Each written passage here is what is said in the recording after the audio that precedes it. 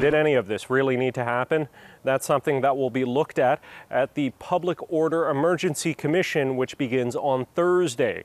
The Canadian Civil Liberties Association says something needed to be done to end the Ottawa truck convoy protest, but the federal government still hasn't proven the Emergencies Act was needed. The protests needed to be addressed, but the government also had an obligation to comply with the law and use emergency powers as a truly last resort.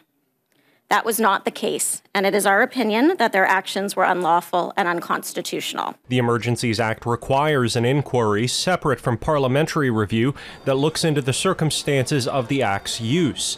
There are 65 witnesses who will testify, including convoy organizers Tamara Lich and Chris Barber, as well as local residents, the RCMP commissioners, senior cabinet ministers, and the prime minister. It was necessary to restore uh, order to Canada, to uh, to Ottawa, and to parts of uh, the country that were uh, under uh, under real challenges.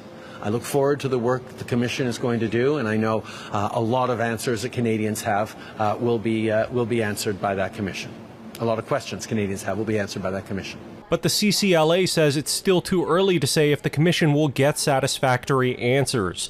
The group previously sought a judicial review of the Act, but the federal government was unwilling to disclose additional documents at first, citing cabinet confidentiality. A justice rejected that, ordering the government to provide some of those documents, but the CCLA's Cara Zwibel says Canadians need the full details. If they start to say, well, there are other things, but we can't share them or there are other things that, that are, we're not at liberty to, to disclose publicly, you know, I think that's a problem in terms of, of not being forthright with Parliament um, and not being forthcoming with the Canadian public. The Public Order Emergency Commission begins on Thursday and will continue for six weeks before delivering a final report before February 20th of next year.